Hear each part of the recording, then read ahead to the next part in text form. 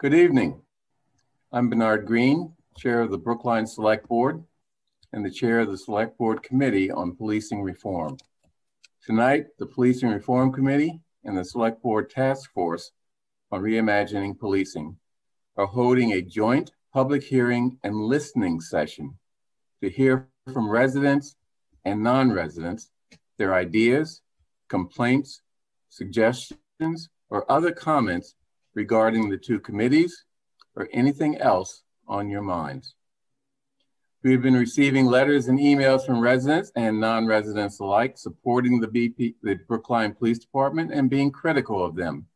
These letters and emails will be considered important data that we will factor into uh, our recommendations to the select board and will be available with any additional uh, correspondence received on the town's website. The Policing Reform Committee was designed with a number of purposes in mind. First, an educational purpose, to provide the community with some basic facts about the Brookline Police Department and its programs in the community other than traditional policing duties. Second, to review the programs and operations of the Brookline Police Department in order to identify areas where improvements could be recommended. And third, to come up with recommendations to the select board in a final report or periodically as the work of the committee progresses. The committee's role is to improve on what I believe is a good, but not yet perfect police department. We may recommend some reallocation of resources or reformulation of programs, but in any event, based on data, not uninformed opinions or secondhand information.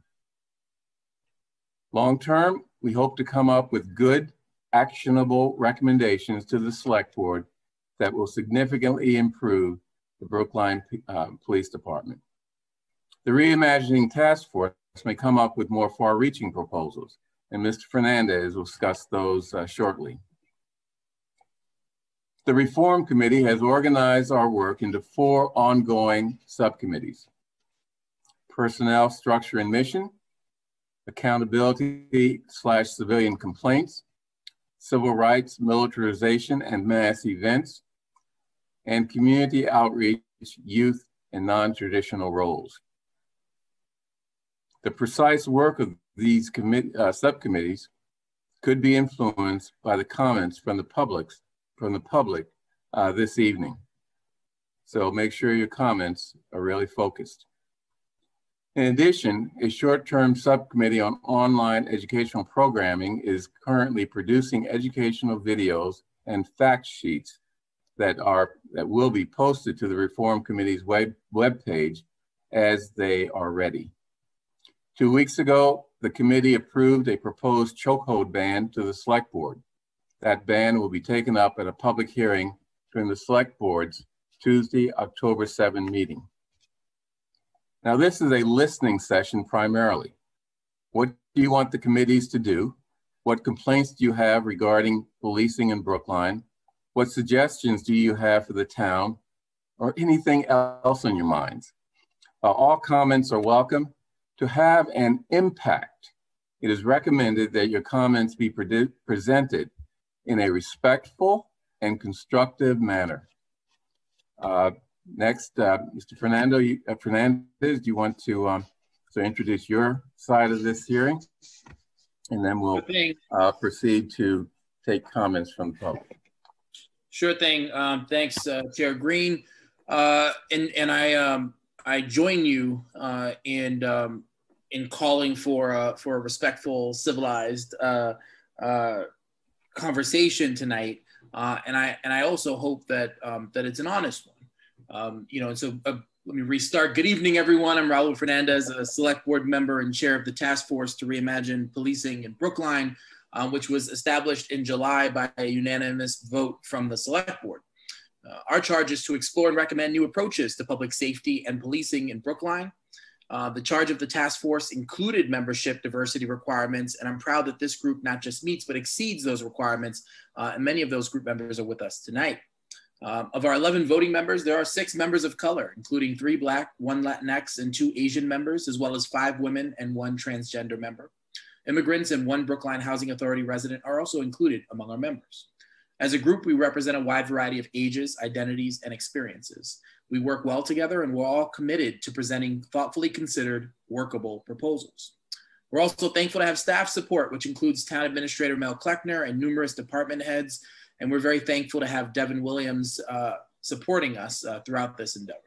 Uh, the full task force meets every Friday morning from 8 to 10 a.m. These meetings are all publicly accessible on Zoom, cable, and the web through Brookline Interactive Group, and are also recorded and posted on the big YouTube page so you can go back and catch up on our work.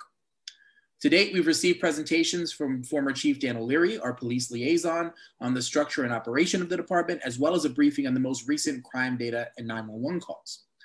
At last week's meeting, we established subcommittees focused on conducting a holistic analysis of the department and individual units like the walk and talk unit and school resource officers, as well as exploring alternative approaches to supporting vulnerable people and people in crisis. Uh, we also have a subcommittee focused on envisioning and community engagement, which was not involved in crafting this hearing, but will be leading uh, our future task force efforts to engage the community, especially those who've been disproportionately impacted by policing. Uh, the task force is using, utilizing a data-informed approach, and an important element in that work is understanding the experiences and perspectives of members of the public, especially those for whom Brookline's current model is not working. Uh, we look forward to hearing from the public in Brookline and beyond and using what's shared in this hearing and other forums to help guide our work. Uh, before we begin, I think it's important to, to recognize why we're here. Uh, the most recent national push for police reform and reimagining, of course, comes in the wake of the racist murders of, by police of George Floyd and so many other Black people and people of color. But as many learned this summer at this summer's protests and in public comments of the select board, there are issues here too. Um, and we, as an overwhelmingly white and allegedly progressively community, progressive community have to reckon with the fact that anywhere you go in this country from its inception to today, the power of policing has been disproportionately wielded against communities of color in a way that most pe white people simply have not confronted or truly understand. Um, I'm mindful that some may appear tonight to speak glowingly of the police department. To them, I would say, I believe that's been your experience. Um, what's already clear is that there are many for whom our current model works brilliantly. Um, the work of the task force, however, would benefit most from hearing from those uh, for who are, whom our current model is inadequate uh, and may through pre- existing design or neglect perpetuate racist systems. Um, I don't know that we're going to hear all those stories tonight. These are traumatic stories, um, and I don't know that we're going to hear them told in such a public forum. But I heard many of them at this summer's protests and privately, and we'll seek them out through the work of our task force. I do hope that those listening know that even if you don't feel comfortable speaking tonight, there is a safe way to share your story. Please be in touch with me and I'll make sure you're heard. Um, in the meantime, I look forward to hearing what everyone has to say tonight. Um, so thanks and let's begin. Okay, Devin, do you want to start off with, uh, okay, we have a number of people who have uh, uh, written in uh, to be uh, speakers, and we'll uh, take those first. But if you in, if you want to um, make a comment and haven't written to Devin, Uh, you can use the hand raise function in the Zoom box, and uh, we'll call on you as as uh, as time comes goes on. The first person signed up for public comment is Susan Howard. Susan, you've been promoted to a panelist and your three minutes will begin when you're ready. Okay, can you all hear me? Good evening, everybody. Can you hear me? Yes. Yes, you sound great. Thank you. I'm going to be really, really brief. I'm a longtime resident of Brookline. I'm a criminal defense attorney with an office on Washington Street. I practiced in the Brookline courts for 30 years. 30 years ago, I attended a Harvard lecture led by Sarah Buel, lawyer, activist, survivor. My concern is domestic violence. Her first words at the lecture were If you have never been abused, consider yourself blessed. There are rumors floating around town, and I hope they're only rumors, that there's some suggestion that domestic violence will be taken from the police department and given to other departments in the town. I am strongly suggested that this is a really bad idea. It's taken us 30 years to have domestic violence defined as a crime, to have restraining orders issued almost regularly with, without much ado. The police are the only ones in the town who are really trained and equipped to deal with such volatile situations. There are certainly room for counselors, social workers, psychologists later on. But as far as first responders, domestic violence should be left with the police. I will also say that given the um, people who do this work every single day, there will be quite an outcry if any changes are made to the domestic violence situation. In addition, the police have established relationships with the district attorney's office, with the sheriff, with probation, with the courts. So there's a chain. I hope that both of the committees, in looking at police reform or police reimagining, I don't really understand what that means, reimagining, um, are also going to be in touch with those um, agencies, with the sheriff, with the district attorney, with the courts. That's the first thing. The second thing, I'm assuming as a resident that you've all done your due diligence and that your recommendations will not just be um, based on data, but you have on the boots experience, that you've attended the stakeholders meetings the police hold. You've attended the open houses and de-escalation and um, crisis intervention, that you've attended the domestic violence roundtable, you've attended an arraignment in the court or a restraining order and other such, uh, and the CERT program. These are fabulous programs that we have in the town. You may not agree with them all the time, but you at least as members of these committees have done your due diligence.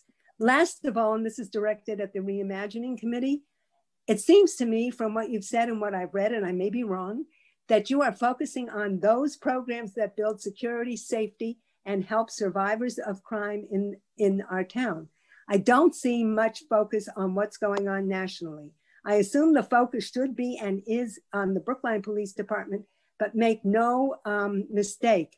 What's going on nationally has affected every single one of us, but our focus is the town of Brookline. Those are my suggestions. You can take them or leave them, but I will say that on domestic violence, we will be back. Thank you all. Thank you. The next person signed up for public comment is Rita McNally. She'll be speaking in her capacity as chair of the Domestic Violence Roundtable. Uh, Rita, you can unmute by pressing star six.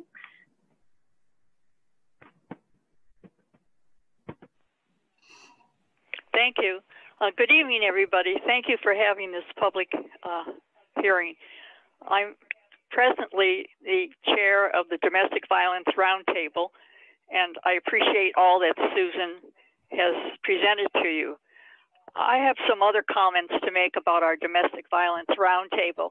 We meet uh, the first or second Thursday of every month at 4 o'clock, and people are welcome to join in uh, at our meetings.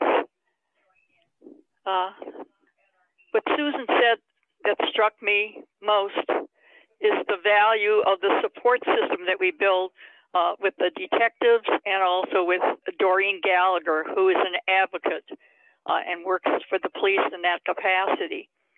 I haven't yet met the social worker that works there, but they form a team, which means that when a woman uh, or male or young person uh, calls 911 and gets involved with the police in a domestic violence uh, crime. Uh, the police are the ones that we want to have at the forefront uh, because people have to realize the dangers that are in these very volatile situations that involve families. And we don't want this moved out uh, to another uh, activity in another branch of uh, town government because I think it's working very well because uh, we have no safe house in Brookline, as you're all aware, I'm sure.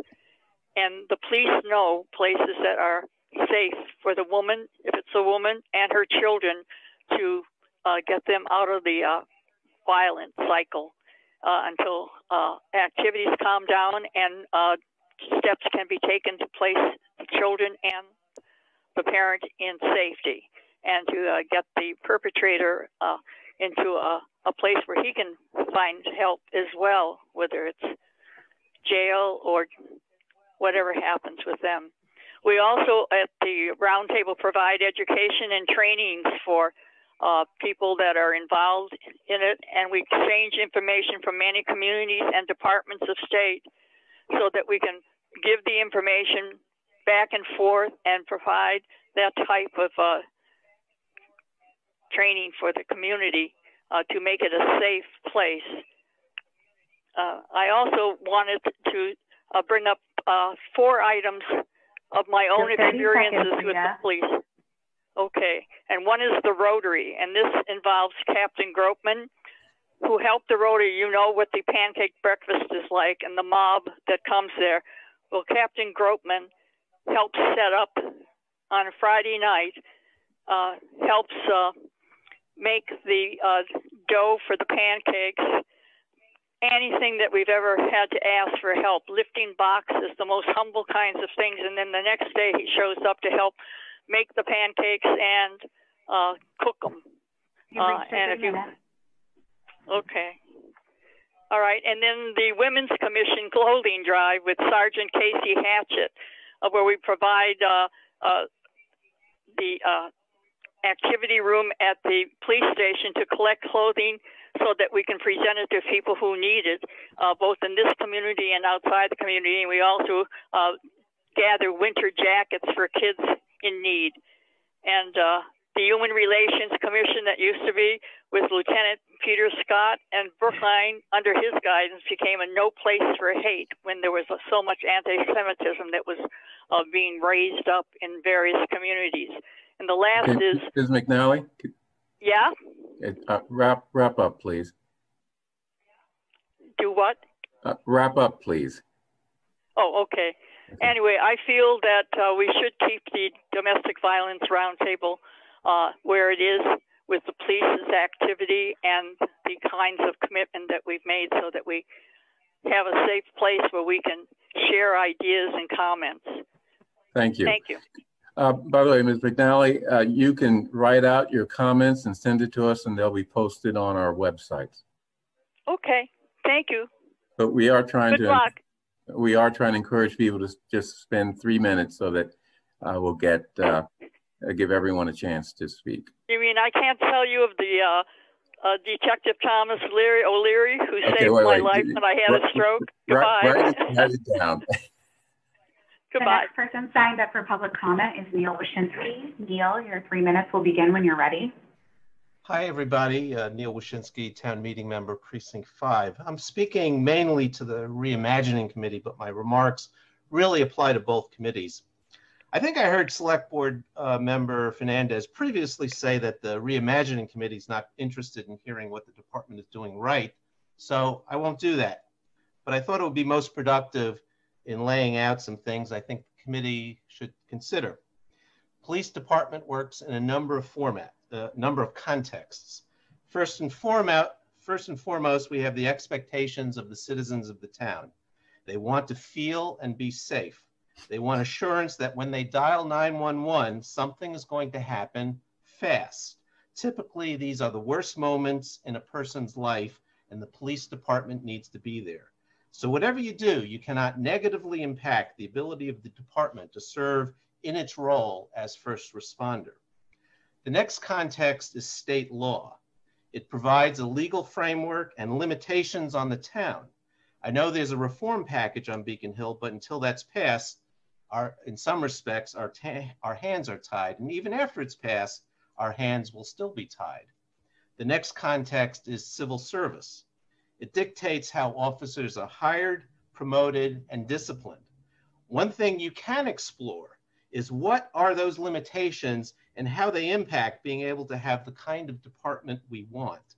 The big question is should we stay in civil service? Many cities and towns have left civil service, should Brookline? And last, we have the union contract. Conditions of employment need to be bargained, and the union has a right to invoke, to invoke compulsory arbitration under certain circumstances. So we could be subject to the whims of an arbitrator if we don't have agreement. We can't forget that. The union needs to be at the table. In our form of government, to do anything big, there must be a broad consensus. The recommendations must be practical and achievable, and citizen service expectations must be met. And if you're going to recommend a reduction or shifting of funding, we need to know the impact on the department, what services are affected, and how those services will be delivered. Without considering the context and the need for broad consensus, you risk producing a report that looks nice, sounds good, but in the end will just sit on a shelf. Thank you. The next person signed up for public comment is Felina Silver Robinson.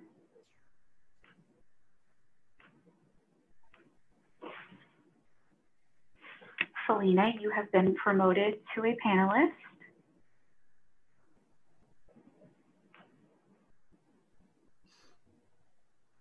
And your three minutes will begin whenever you're ready.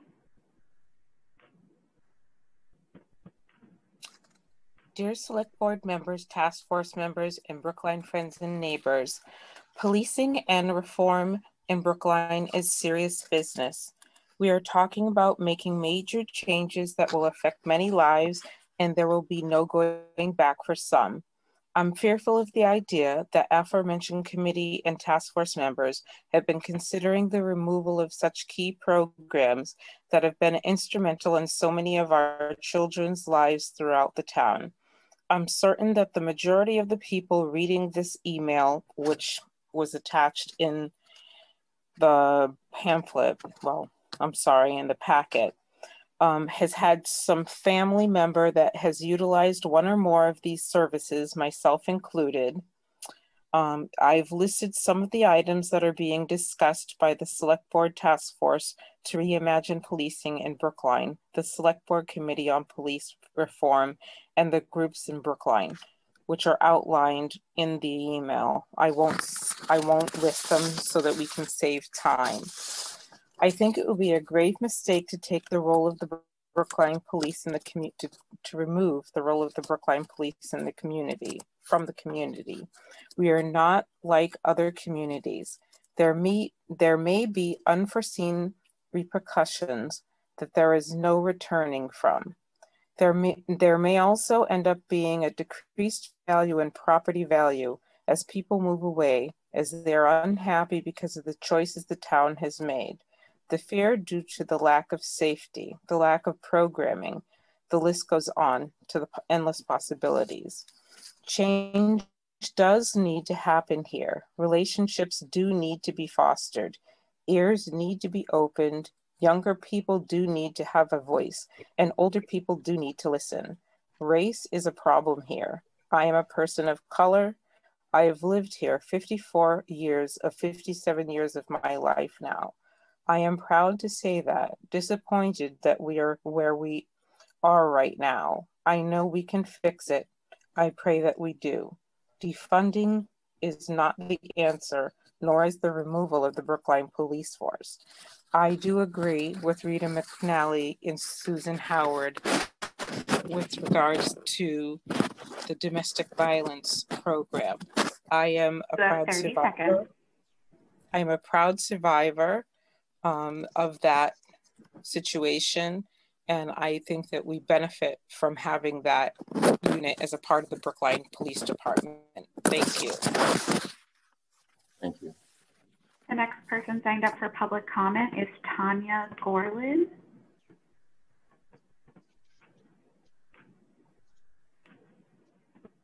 Tanya, when you're ready, your three minutes will begin. Yes, I'm ready. I'll start video. All right, go ahead.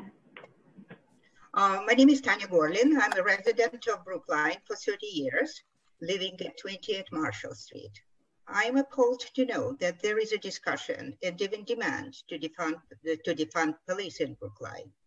The very word defund, the police, the only department in the town of Brookline to which it's ever been applied, looks to me a little bit offensive. I recently subscribed to local news channel on my phone, and I am terrified to see how many awful crimes our police has to deal with domestic violence, murder, rape, burglary. Our police officers often see people at their worst and they still believe in humanity. I applaud them for that, and I truly believe we must support our police. I, I, I, have never heard any complaints about Brookline Police, which have the reputation of exemplary organization. One of the proposal is eliminating position of a social worker within police department and transfer funds to another entity outside police department. To me, it doesn't make sense. In majority of cases that initially appears non-violent can easily transfer into situations that would require police involvement. And now it is about us, Brookline residents. Is it fair to put us at risk by defunding police and forcing them to close essential programs which keeps us safe? I believe a present setting works very well. What the urge to change it? Thank you very much.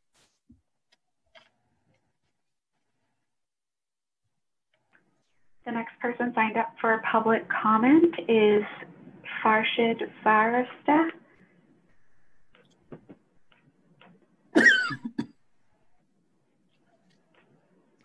Good evening. Pre-COVID, one of my neighbor's kids came home from school and found the door to their home to be open. They called their dad. And the dad did not call me. They didn't call the other neighbor. I highly doubt they called you. They called the police. The police was there in a matter of a few minutes. They went inside their home, checked everything, made sure the home was safe and secure for the kids. That's what Brookline Police does for our community. We are a small community surrounded by Boston and all the problems that Boston brings for us. But we've done a pretty good job. I've been a resident of Brookline for the past 20 years or so. Most of it, I've been a member of the CERT program with Casey Hatchett being here, who was one of the founders of it. I have been involved with the Boston Marathon bombing, where we supported the uh, evacuation of the routes. Every year, the Boston Police supports the, uh, the marathon runs, uh, the, the CERT program, and the numerous other programs that they do based on whether it is uh, online crimes or internet crimes and everything else that they do that I am not privy to. But what I do know is that Brookline Police, as others spoke before me, they say it is an exemplary department. And I hope, as Susan said, we're not being swayed by the media or other outlets to take away the good policing that our department does. Is there room for improvement? Absolutely. In my work, my full-time job, I go through a training called sexual harassment training. Every year they have a bias training.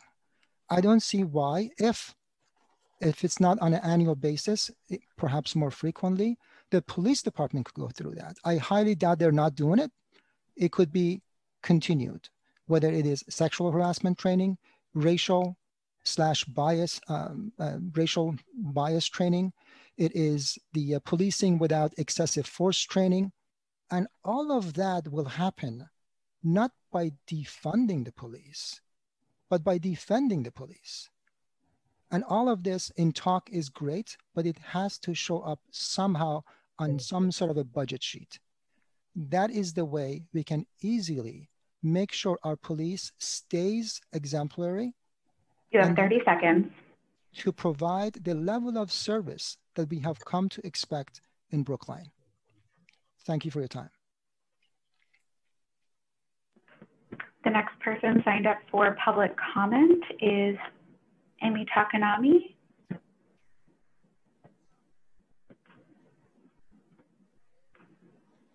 Hi, Amy Takanami, she, her, hers, precinct 10. I'm a alumni of Brookline High School, class of 2012. I want to first take the opportunity to thank both committees for making the time for people to publicly share their personal stories as it relates to policing in Brookline.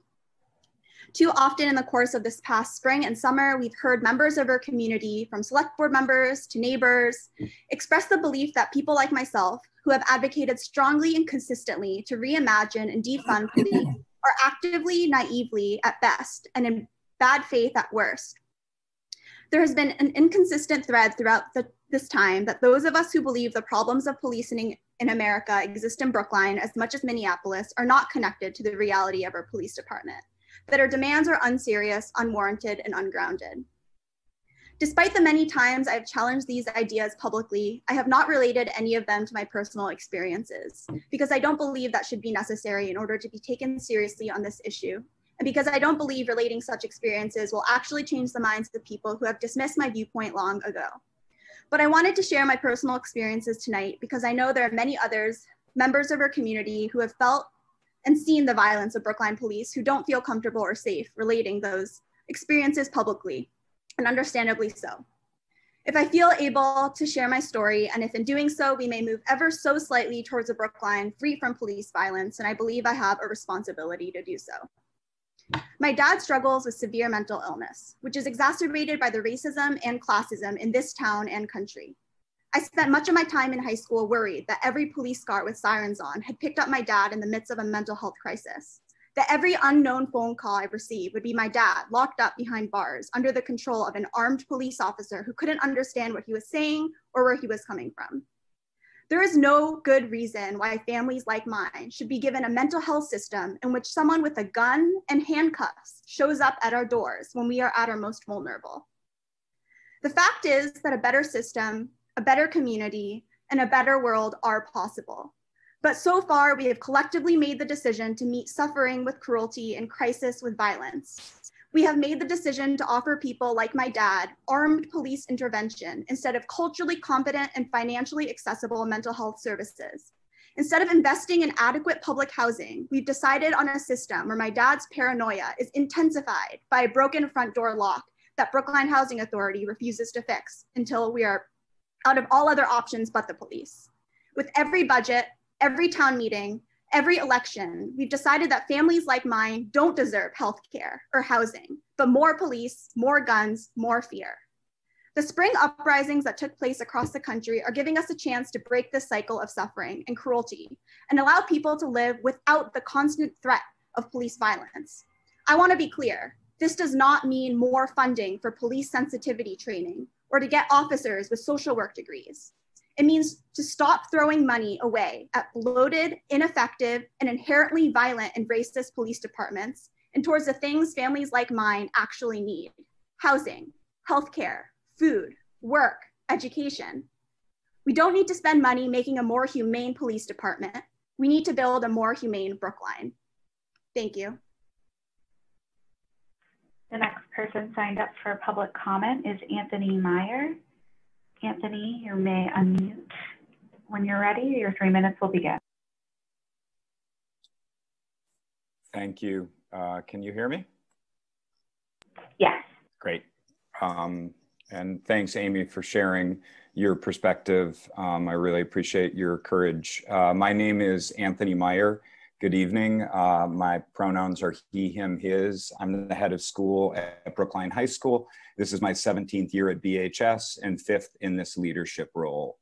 I'm grateful for the opportunity, opportunity to speak at tonight's hearing about the role of our school resource officer and to address some concerns I have heard about the location of the SRO's office within BHS. While this statement hopefully contributes to the important work of the task force to reimagine Police in Brookline and the Select Board Committee on Policing Reforms, I also want to make clear that I offer myself and anyone from BHS to meet with either or both groups if our perspective on ongoing work with the Brookline Police and within our, within our larger community would be helpful. For background, our school resource officer started in February 2019 after lengthy MOU discussions between BPD and the public schools of Brookline. Though there are many aspects of our SO or uh, SRO's work, I'd outline three general ways we coordinate efforts between the police and schools via our school resource officer and more generally through our collaboration. One, we prevent violence involving BHS and PSB students and families. Two, we prevent use, abuse, and distribution of alcohol and other controlled substances involving our students. Three, we promote a safe and nurturing environment in our school community. We do all this work together, making clear the distinct roles that SROs and school administrators have. We also do so with a sharp focus on keeping young people out of the criminal justice system wherever and whenever possible. There are myriad aspects of this ongoing collaboration. And again, I make myself available to speak to these field questions, and hear feedback and concerns, suggestions in the days ahead. When we sought to locate Officer Keneally at BHS during the 1920 school year, it was our responsibility as a high school to find and assign that space. Our assistant head of school and I saw a few options and decided on an office in the center of the school, near our atrium, next to an egress to the quadrangle and Greeno, and generally accessible for our SO or RO and for individuals in our school who need access to her. You have 30 no, seconds. Okay, At, thank you. At no time did I or any BHS leadership, um, sorry, um, at no time did I or anyone choose this space due to its proximity to our METCO, African American Scholars Program, or Steps to Success program. Indeed, all of these essential BHS programs are also like, located at the heart of the school.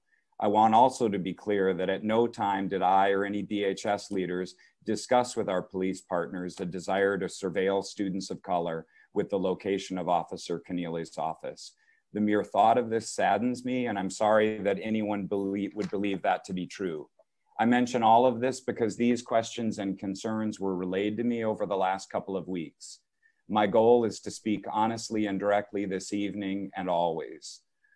All that said, I did not and absolutely should have communicated and collaborated with the leaders of these essential programs about locating our SORO next to or close to them.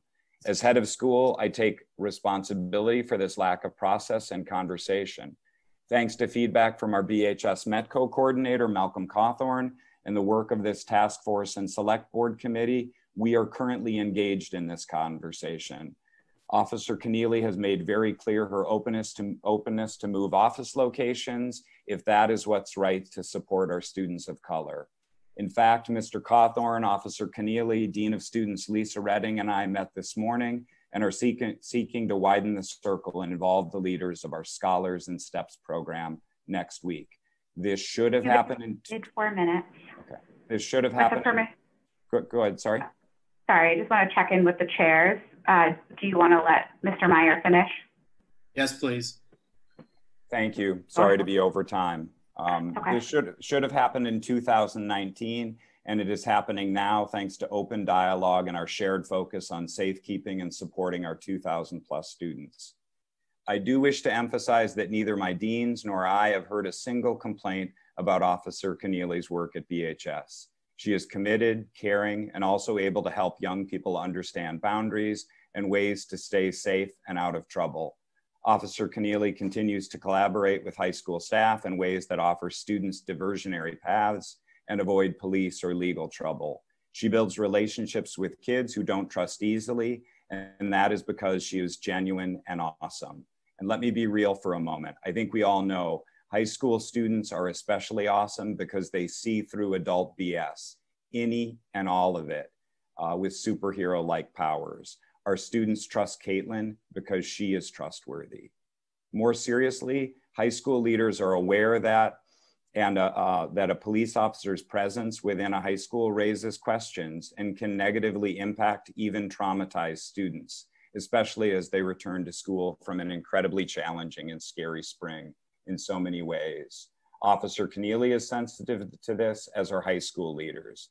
I welcome the chance to engage in dialogue with either the Task Force to Reimagine Policing or the Select Board Committee on Police Reforms. If further and wider conversations and collaboration is needed to keep our young people feeling and being safe and supported, I will do whatever I can to contribute.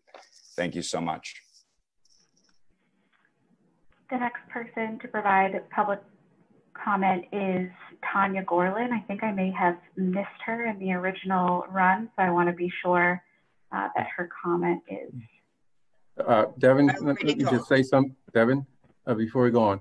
Um, Mr. Meyer, uh, uh, if you want to, you can submit your written remarks to the committee, as can anyone else. Um, but since you're a significant um, person in the schools, I really encourage you to do that. Thank you. Thank you. Happy to do that. Devin, I may have, I have, um, Tanya Gorlin has already spoken, so. Okay, yeah. great. That means that we are on to Svetlana.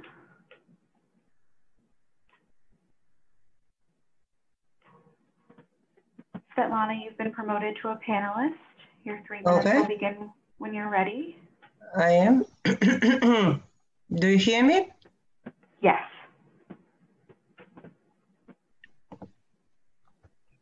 Okay.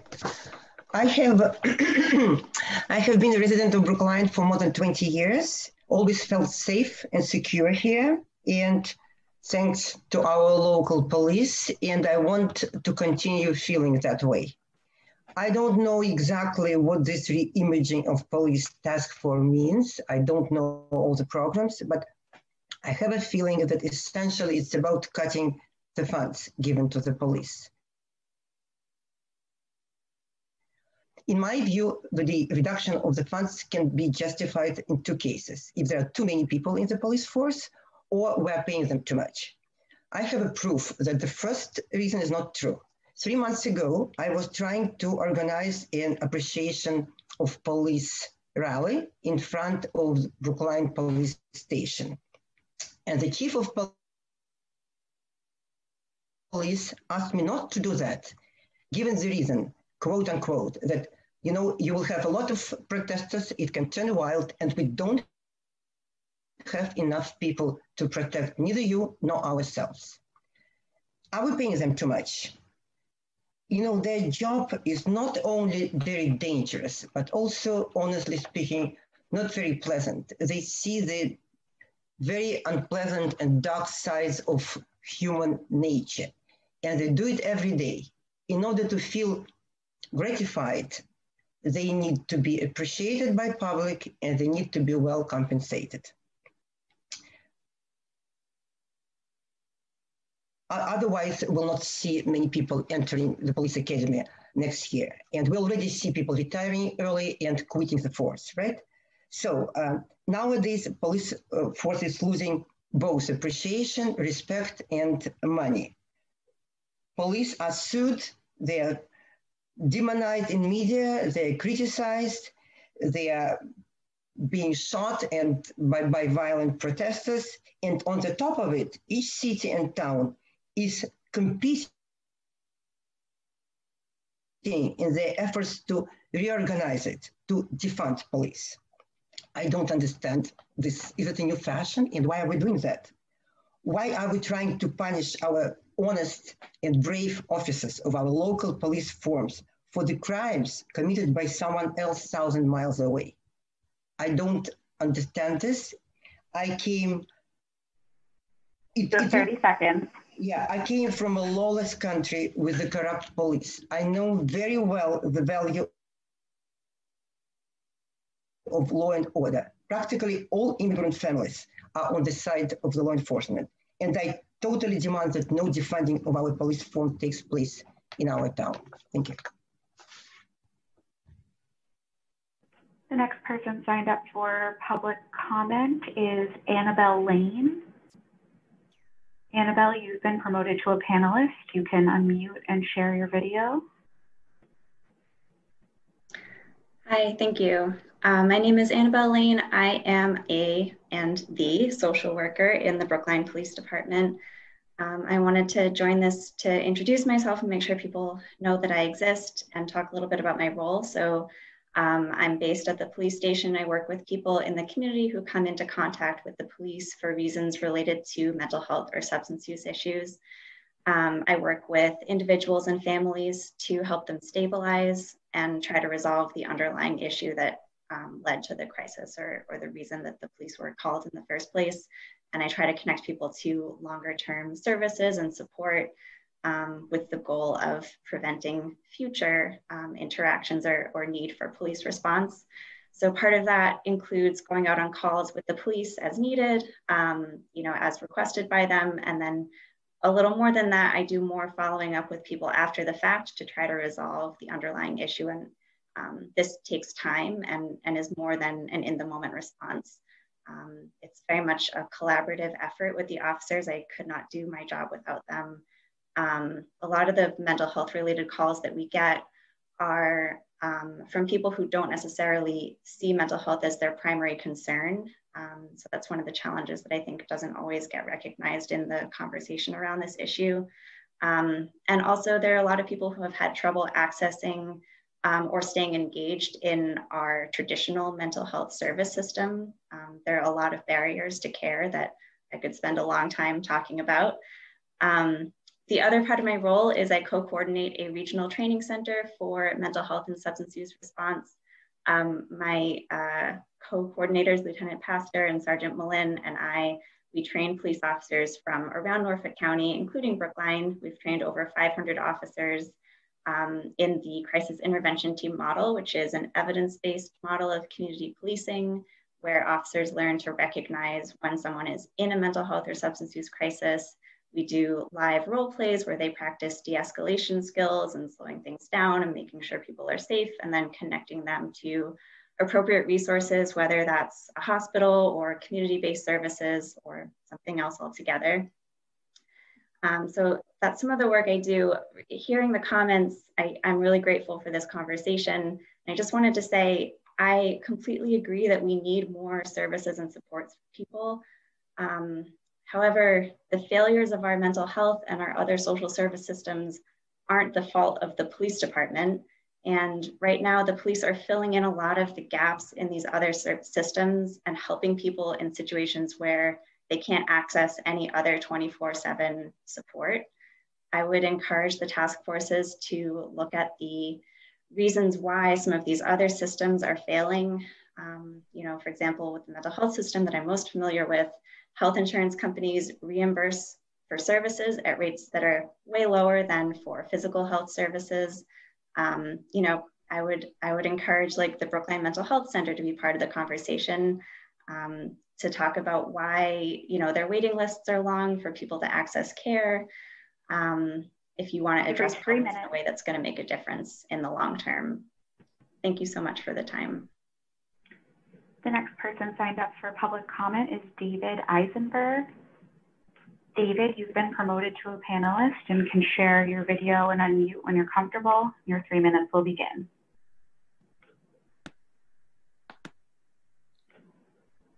Okay, um, my name is David Eisenberg. I've been a resident of Brookline for 47 years. I've been asked to come to this meeting and uh, make some comments on behalf of the Young Israel of Brookline uh, and the Jewish community. Uh, our feelings generally are of gratitude for the police conduct for the, and for their rapid response and their professionalism. We have not been reading of police misconduct in the tab.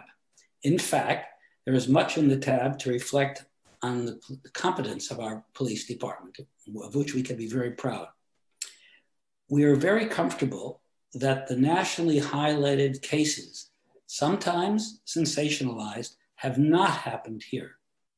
Of course, all programs of all departments should always be open for fiscal review, for a review of their purpose and their need and priorities. priorities. But changes that are not proven and lack data should not be entertained. Given that there have been calls for defending police in some places without forethought, even not by, but for those who need those services, some of this attention has to be understood as without any basis whatsoever. We in, uh, in my community are very much aware of the increasing number of anti-Semitic incidents in Massachusetts and value the continued police protection of our local synagogues and temples. Much is not reported in our local press, but is reported in the Jewish community. If one wants to reimagine anything, one has to define with data, with evidence, with proof, what the current reality is, not imagine it. You have to find and define the reality. And one has to present proven suggestions, not hopeful experiments based on notions. If there is any area in Brookline that lacks full services or funding, the solution is to try to find a way to support it, not to weaken another vital service such as the police. Uh, thank you very much for your attention. The next person signed up for public comment is Evan Patel. Hi, thank you so much. Go ahead. Okay, so I believe that uh, reimagining policing in Brookline is extremely crucial for these reasons. Reimagining policing is crucial due to uh, the fact that we need to fit the needs of our community in Brookline and not just any community around the US. Brookline is a certain community, we need to fit, fit these needs. In a study about Brookline policing specifically, it has been shown that pe- people of color are disproportionately arrested, stopped, questions, and have more interactions with, with the police. It is clear that there's a problem of discrimination and profiling here. Some people think the way to solve this problem is further funding police programs such as de escalation training or, or bias training. De escalation training was the exact training that officers who murdered George Floyd went through. It has been clear through constant studies that these trainings do not make police any less violent or discriminatory. The only solution to truly change the police is to reform the police into separate forces that are trained to respond to specific crimes and have good training for each of their purposes. I hear a lot of concern about the lack of police to respond to, to domestic violence. To this, I say, police have been some of the biggest perpetrators of sexual violence with people under their custody. So it's clear that the police aren't the force we need for this. I believe that we need a specifically trained task force for um, to respond to such an important issue such as domestic violence or other violent crimes, but not the police. Thank you so much.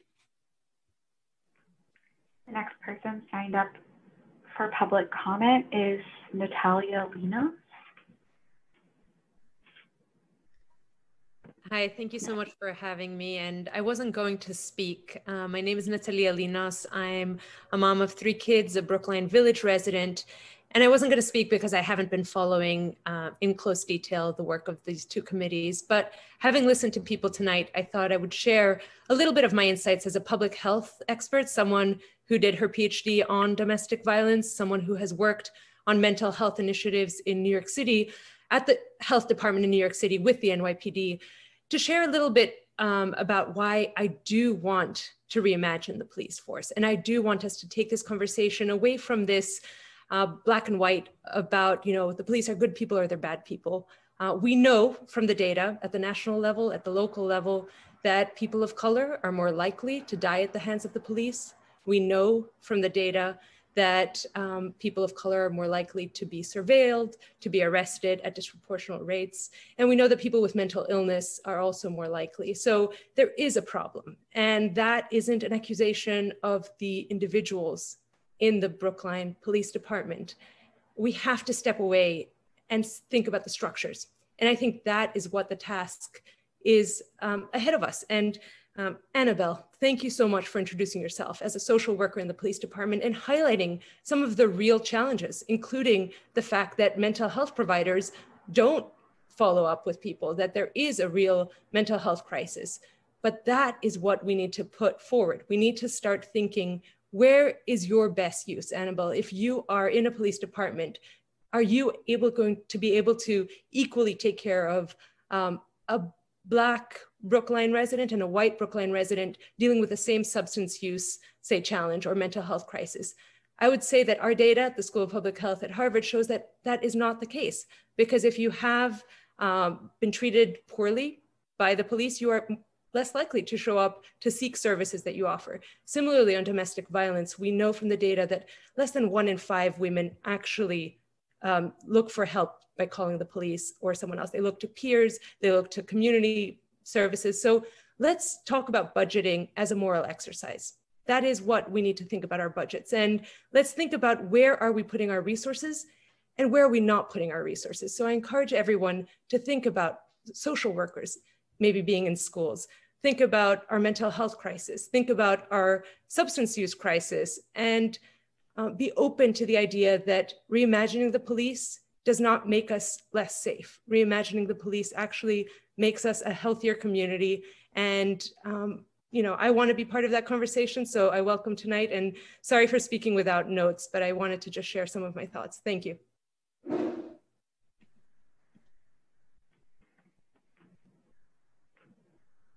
At this time, uh, we have 42 attendees, 43 attendees, and no one has indicated that they would like to make an additional comment?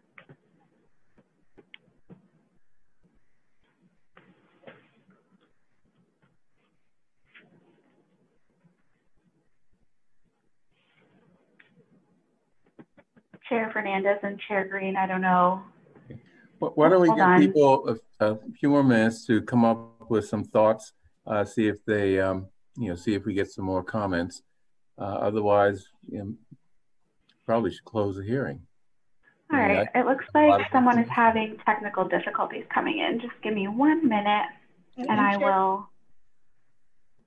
Chairman Greene, I, I, have a statement that I'd like to make before the meeting closes. Okay. This is June Binney, member of the um, Reform uh, Policing Reform Committee. Ready? Okay. Yeah. Um, thank you, Chairman. Um, I, I, just wanted to say a couple of things, just generally, um, a little bit about um, myself personally and professionally, um, about my work and my life in Brookline, um, and, and then kind of putting this in the context of national politics, which I think we all really need to be focused on for these next four weeks and six days. Um, for those who may not know me, I'd like to introduce myself and put on record my nearly 40 year career as a criminal justice reformer, um, a career that's defined me and of which I am extremely proud. Um, I apologize in advance because some of you have heard me go through my background and have heard these very words, so I'll go through it more quickly than the last time. Um, and and, and um, June, remember, yeah. you can submit your statement to the uh, committee and it'll be available to all the committee members of the two committees. So you don't need to read the entire statement if it's long. Right. If I could just have, you know, three or four minutes. Yes, yeah. I would appreciate it. Thank you. Thank you so much. Um, I've worked here in the Commonwealth and in New York City where I've held leadership positions as an advocate, an attorney, a policymaker, an administrator, all at the intersections of criminal justice, mental health, public health, and substance use. My work has focused on undoing our country's shameful history of mass incarceration and systemic racism through the criminalization of mental illness, substance use, communicable disease, gender, race, and poverty. In order to effect major systems change, I proudly worked alongside the ACLU in New York and Massachusetts, the New York City Prisoner Rights Project of Legal Aid, the Massachusetts Prison, Prisoner Legal Services, and every other criminal justice and mental health advocacy group here in New York and nationally. I've been called upon by the Boston Globe Spotlight team, National Public Radio, the New York Times, and many other publications to speak out as an expert on these issues.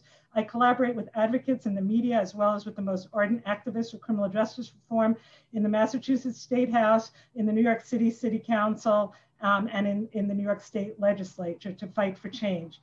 Suffolk County District Attorney Rachael Rollins um, has called upon me and continues to call on me to weigh in on issues regarding mental illness and the opioid crisis, including how to decriminalize, intervene, and support people with opioid use dis disorders and mental illness who live near the intersection of Mass Ave and Melnea Cass Boulevard, which is also known, um, unfortunately, here in Massachusetts as Methadone Mile.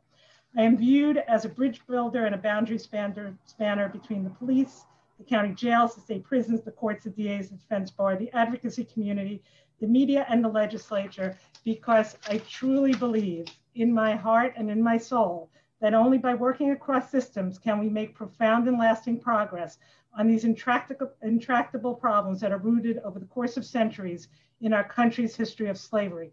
I've spent 30 years, 38 years, I wish 30, a little younger um, and less tired, 38 years working on these issues in every jail, house of correction, and state and federal prison in Massachusetts, New York City, and many other states throughout the US.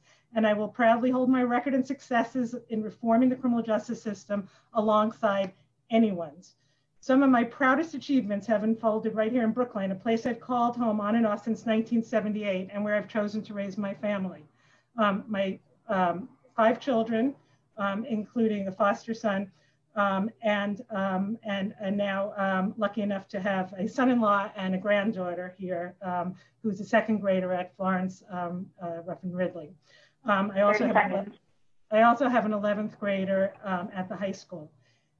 in 2012, I was recruited by the National Alliance on Mental Illness to start the Criminal Justice Diversion Project, a five-year program to work with police departments throughout the Commonwealth to stop the unnecessary arrest and incarceration of people with mental illness and substance use disorder.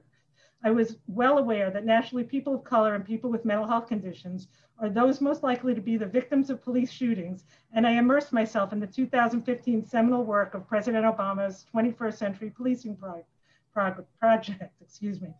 The partnership between NAMI and the Brookline Police Department has resulted in an evolved police culture in, in, in terms of their response to people with behavioral health disorders, led by the uh, fierce efforts of Lieutenant Jen Pastor, Sergeant Chris Malin, um, more recently Annabelle Lane, who worked with me previously at NAMI, and many others under the leadership of retired Chief Dan O'Leary.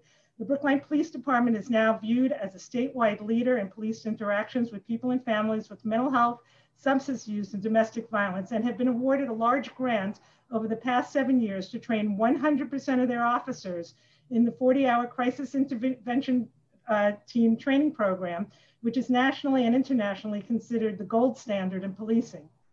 The police department now trains officers in other police departments throughout Nor Norfolk and Suffolk County, including those in Boston, Newton, Wellesley, Needham, Milton, Braintree, Walpole, Norwood, Westwood, Dedham, Franklin, Duxbury, Weymouth, Hull, Quincy, Weston, as well as Boston EMS, the BU Police Department, the Department of Correction, the Boston Police Department, and others. The Brookline uh, Police uh, Department. June, could you uh, wrap up? We'll we'll okay. stipulate as your as to your expertise. No, I was well. Now I was talking about Brookline, but I I will now bring it sort of more personal. Um, after steering clear of town politics since um, 1978, when I first moved here to go to BU Law School, like many New Yorkers, I um, I recently applied to Raul's Committee to Reimagine Policing um, because criminal justice reform is my life's work. And I was encouraged to bring my statewide and national work um, home to here in Brookline. And it felt um, like, like um, a contradiction to be doing this work elsewhere, and not in my own hometown. Um, I was somewhat shocked and disappointed that I was not selected to be on Raul's Reimagining Committee because um, I was wondering whether there were really people who applied who had more than 38 years of experience as a criminal justice reformer. Um, I was thrilled on that same day that I was rejected by Raul to get a call from Bernard Greene um, inviting me to join yet a different police reform committee. Um, feel, my feelings were still hurt and um, my ego was still bruised. I resisted since um, I'm really not a police operations expert. I'm a re reimagining police person. Um, I, I, um, I knew Bernard's name. I voted for him, but I did not know Bernard at all. Um, likewise with Raul, I knew his name, did not know him at all, but I voted for him. Um, I've been privileged. June, yes? You've just reached uh, six minutes, and we do have two other public comments that have just come up. I would actually just like about another minute, if that would be okay to finish off. Okay, but please, please wrap up. Okay. I won't talk about how privileged I am to know you then. I'll say that at our next meeting. um, what I would like to say is we have four weeks and six days to a referendum on our democracy. We cannot get bogged down and distracted by the left eating okay. our own. Okay. Um, we must be uh, united in defeating fascism in this country. Okay. And, and we will no longer have the luxury of arguing among ourselves if we don't. I would like to declare a truce right now among our two committees and among ourselves until November 4th. I move uh, respectfully to hold joint meetings until that time to define areas of redundancy between the committees and to eliminate redundant work and redundant okay. meetings and okay. nastiness and vitriol. We are out of time and we have no time to waste on, on, on wasting our time on, on, on doing each other's work in the same community. We okay. can continue to respectfully agree to disagree when we celebrate a Biden Harris win on November 4th. Our very democracy is at stake, and we are being led like sheep to their slaughter and playing right into radical rights and Trump's playbook by fighting among ourselves. Please okay. stop. Please stop the attacks on me, on Bernard, and on my family. And let's do the important work as one committee. If New York City with 36,000 police officers, Chicago with 13,138 police officers, LAPD with 9,974. Respectfully, uh, we have respect. One police. This might be my last work on these committees, so I'm I'm I'm respectfully asking your forbearance. If those, if New York, LA, and Chicago can have one police reform committee, so can Brookline, Massachusetts, with 137 police officers. This okay. is absurd. Um, this is also okay. very personal to me because Amy Takanami is my foster son's sister, and this is this is tearing a rift in the fabric of my family. And I have a very different read than Amy does on the work that has been done by the police department with her dad, who is a member of our family as well, and who has been cared for by the Brookline police, which such um, uh, love and, and, and, and devotion that I would be happy to tell his story on behalf of him at another okay. time. Thank you so much. We, we, Thank you so much. It. I appreciate doing the work with you guys. I will see you again on November 4th and hopefully celebrate okay. a democratic. Thank you. okay. The next person signed up for public comment is Hugo Ilono. You've been promoted to a panelist and your three minutes will begin when you're ready. You can unmute and share your video if you're comfortable.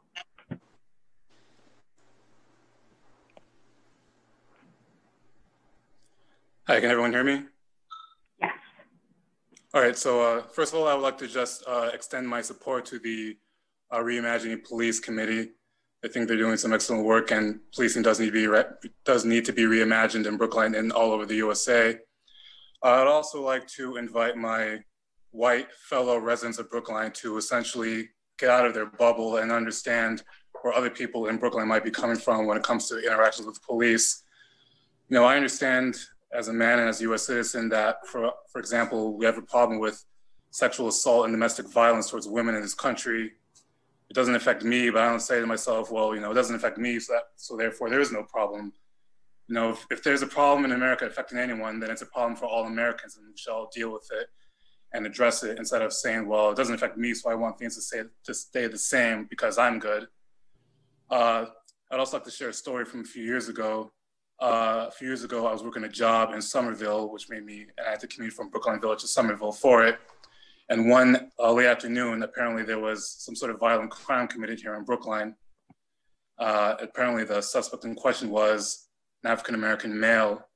And because of that, I didn't feel safe coming back to my apartment in Brookline until the suspect was caught because my fear was, as an African American male myself, I would be seen by police and automatically be deemed the suspect and arrested, beaten, shot to death, whatever.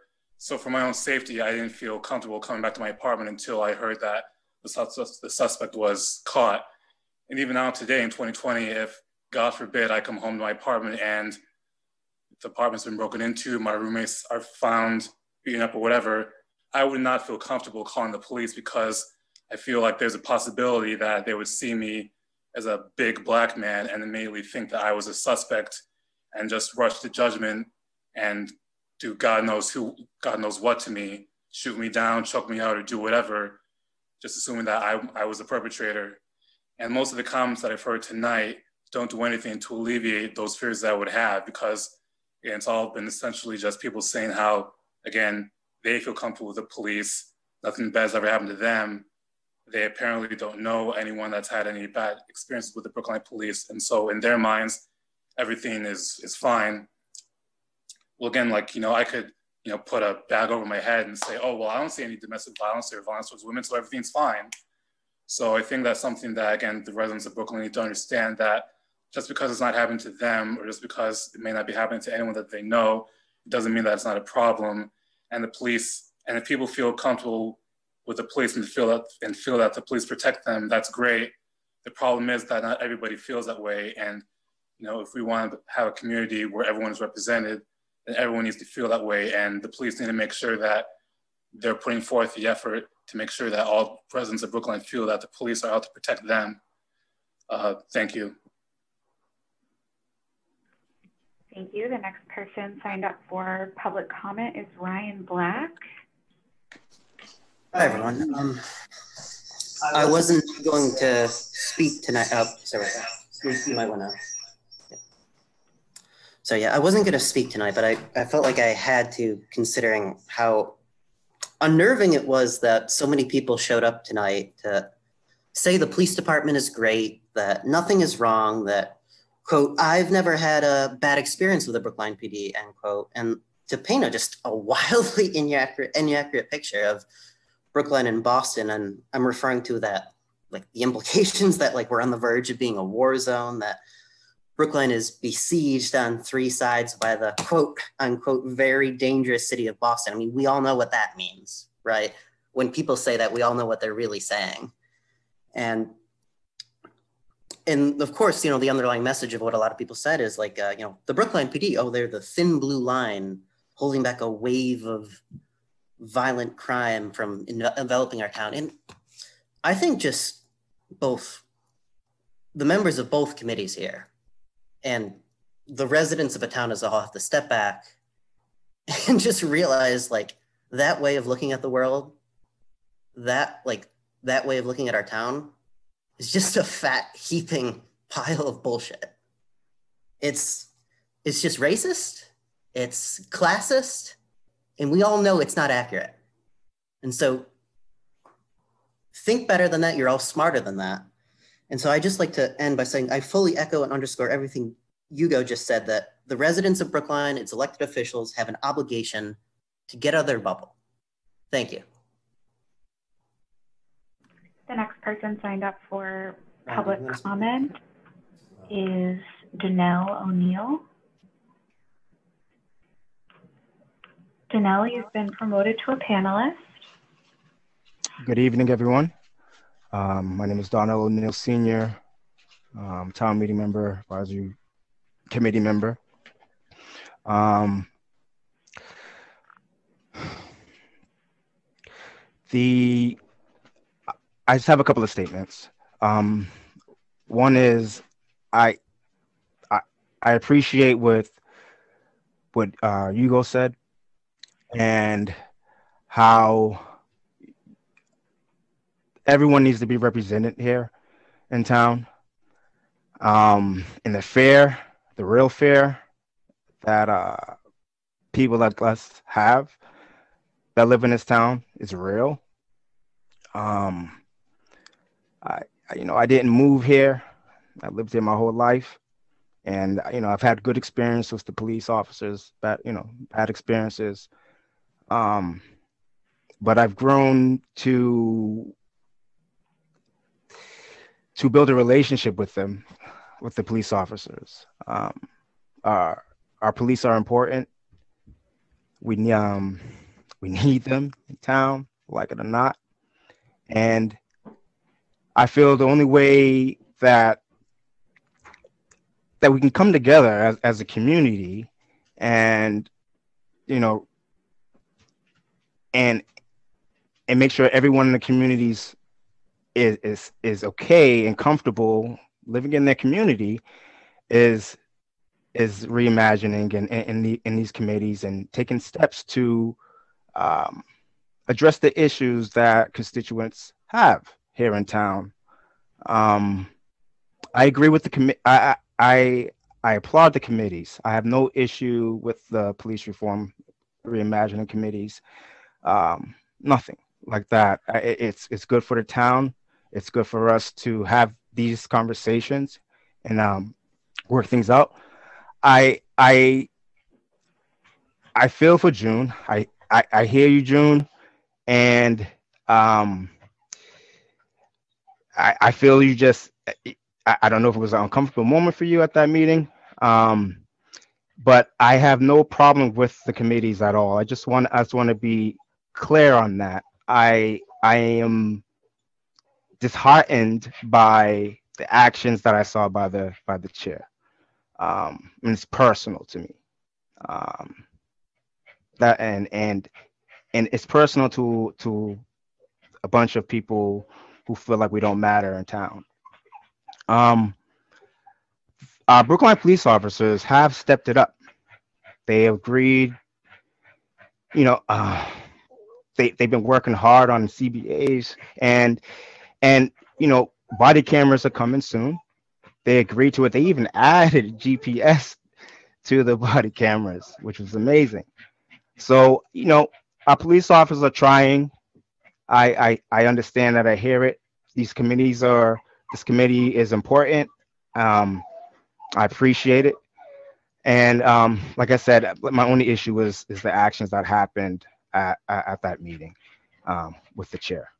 Um, second, thank you. My, my, my last statement is um, that uh, that that security station at the high school. Um, I forget the gentleman's name who was speaking, um, but that needs to be moved as soon as possible, please. Um, I didn't know about that, and it personally it, it, it hits me because the cat the the um, groups of the people that you were speaking about is my junior. My junior is uh, around there. I, I so um, I just want to thank everyone for their comments. Everyone who spoke earlier. Uh, I, appreciate the the transparency and and, and the coming together. You know, because this is what the town needs. Um, this is what the town, this is what our town deserves. This is what the people, this is what the constituents deserve. So I just want to thank everyone for coming together. Um, I, I agree with June about the joint meetings. That should be that should that should be happening. Um, thank you. Um, have a good night, everyone. Thanks, Janelle. The next person.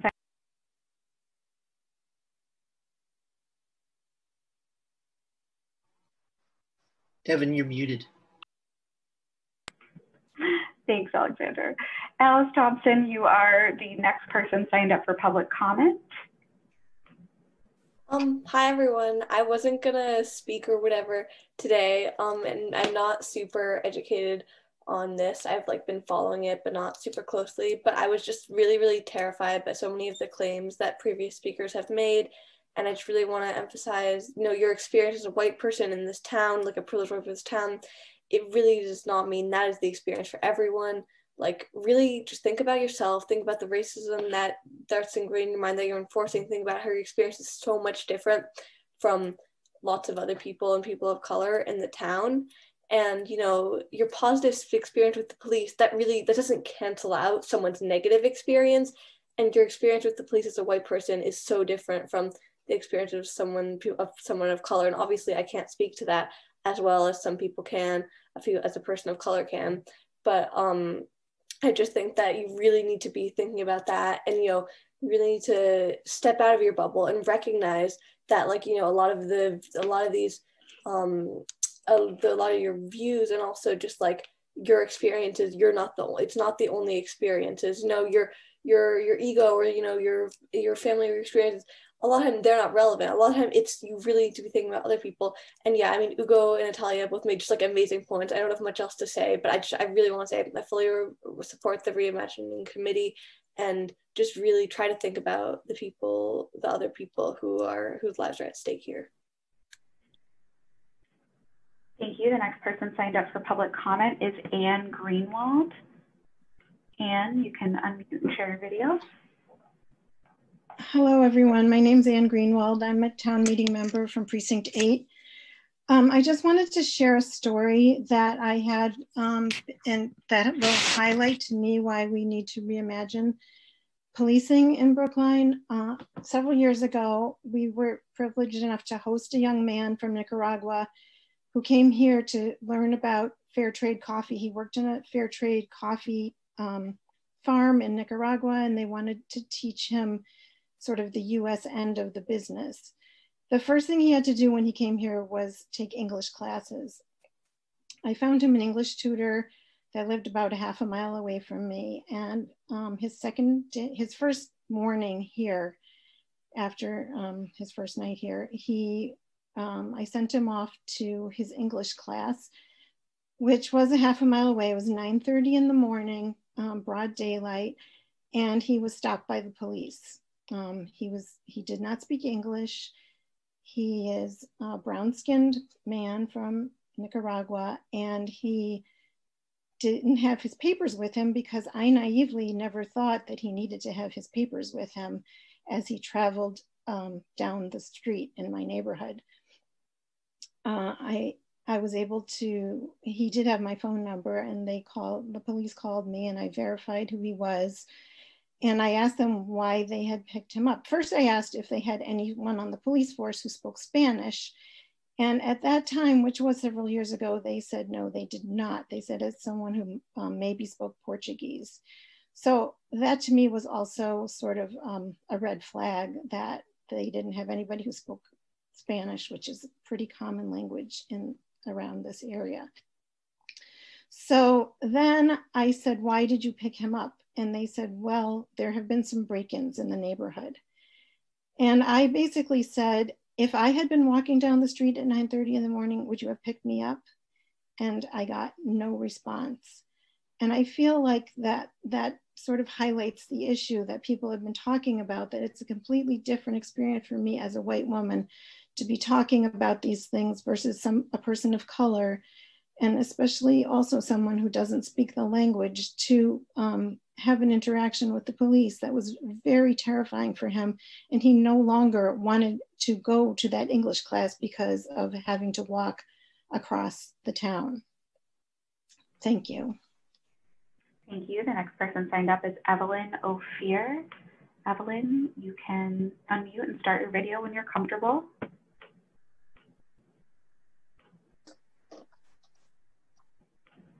Okay, did I unmute? You did. Okay. Okay.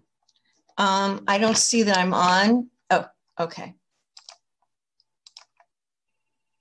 Hi, I wasn't planning on speaking uh, really, but I just have one. Uh, my name is Evelyn Ophir. I've been living here for over 35 years. And I was at a meeting for criminal justice at my temple. And there was the issue of race in, I guess, the fire department and the police. And I thought, oh, I'll just go to my cafe and have a cup of coffee. And I asked the cashier, who's African American, the sweetest guy, I said, oh, have you had any problems with the police? and I'm completely, completely clueless. He said, Yeah, you know, I was, and he didn't say it like me, but he said, I was on my bike.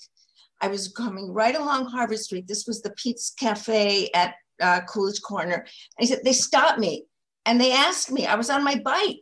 They asked me to get off and they asked me for my for my identification and they were just and i'm like what because like i'm like the woman before me i had no experience with the police in terms of things like that and and i said you're kidding and i said i said and how did you got you didn't get upset he said well you know my my grandmother taught me that if the police stop me then i have to be nice and otherwise i'm going to have problems so i want to say this was about three or four years ago it, things could be different now that was the story that I heard, and I, you know, it wasn't that somebody told me about somebody else. It was just, it was relayed to me.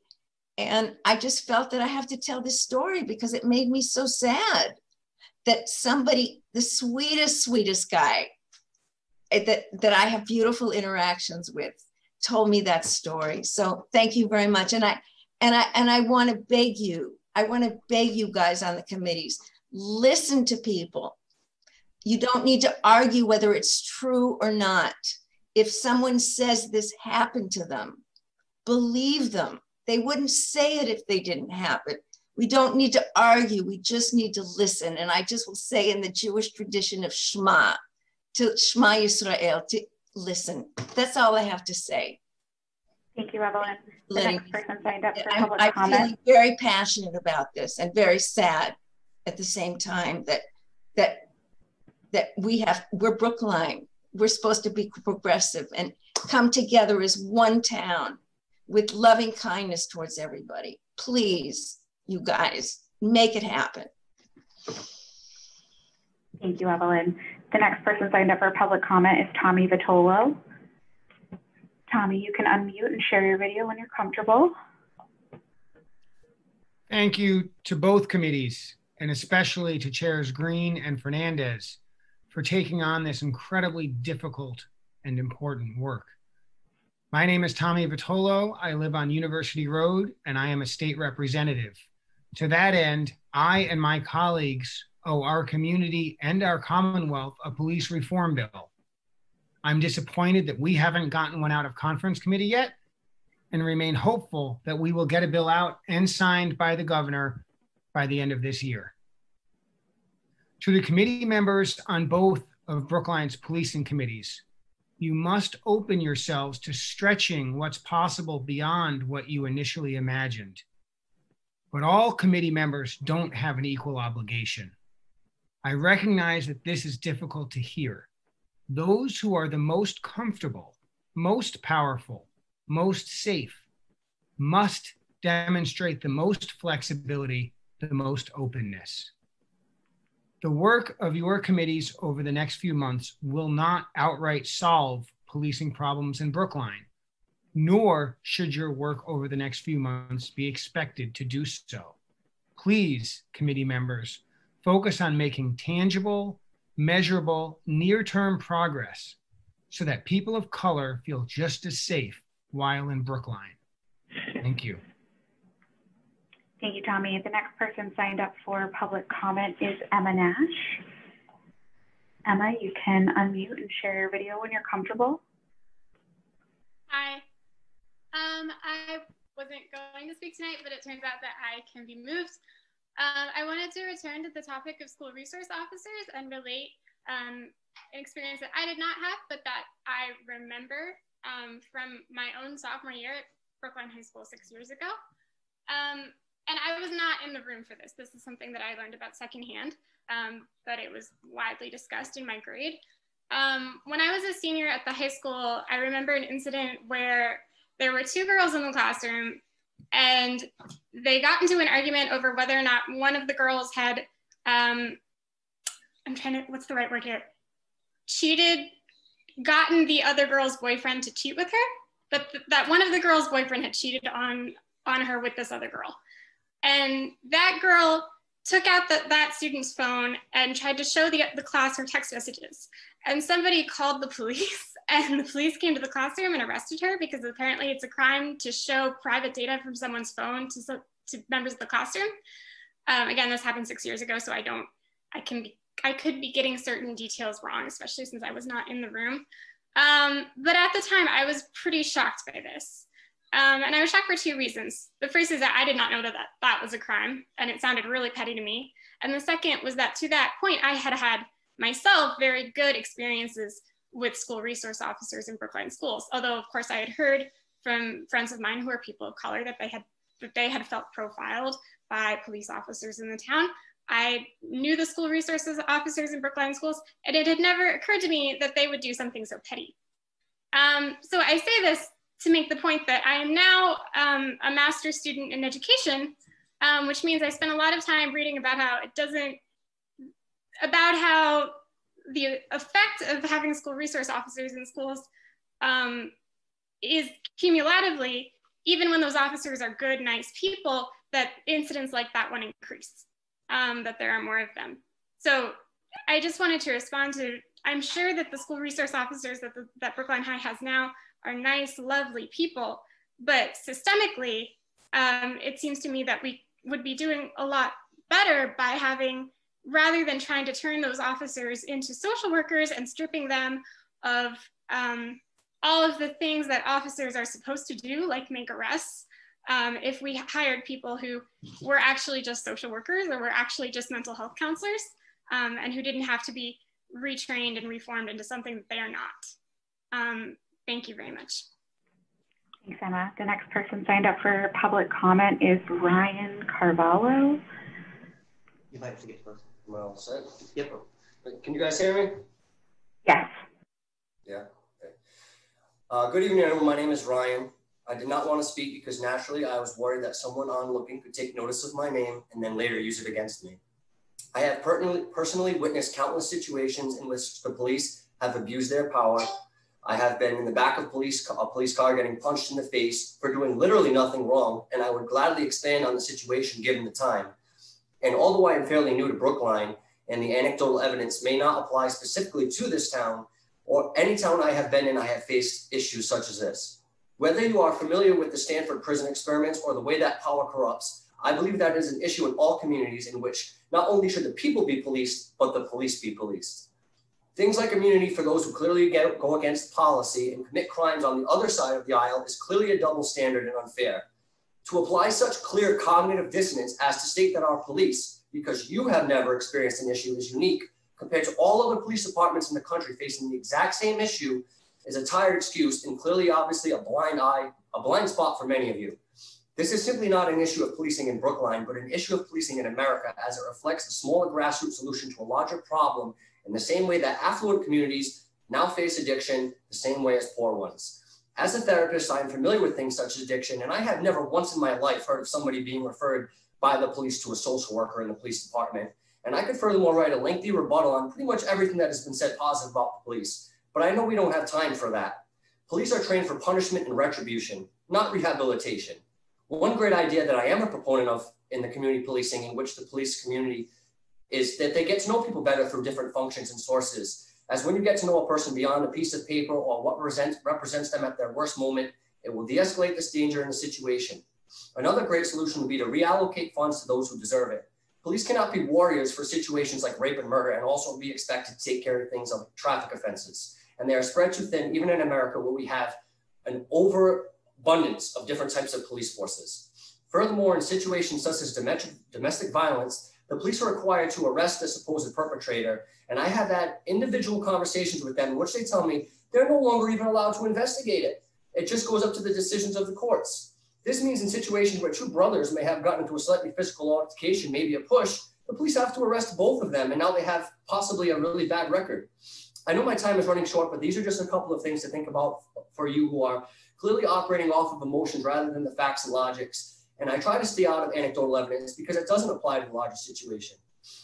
I have also tried to record police, which is why I think it would be great for them to have body cams that are monitored, that they are monitored by those not in the force, which seem to be strongly, the police seem to be strongly against because they don't follow policy.